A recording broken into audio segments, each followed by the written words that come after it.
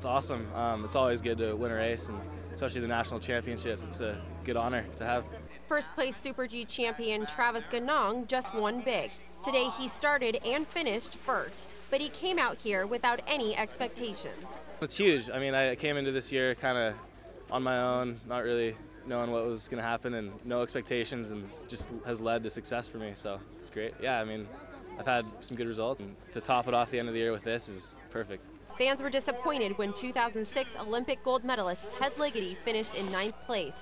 But second place winner Will Brandenburg had his own set of fans, even though he had a tough time finishing. It was a challenging day. The snow was very soft and tough, um, but uh, I did okay. I fought all the way to the finish, and uh, second's okay. I'm happy with that.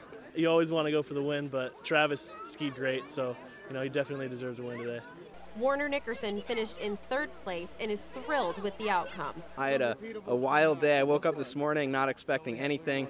Usually I suck at Super G, so today was awesome to get out there and put down a, a relatively fast run and, and jump into third.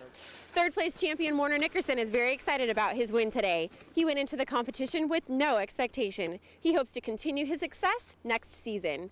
In Lake Placid, I'm Marissa Pendergrass for WEBN News.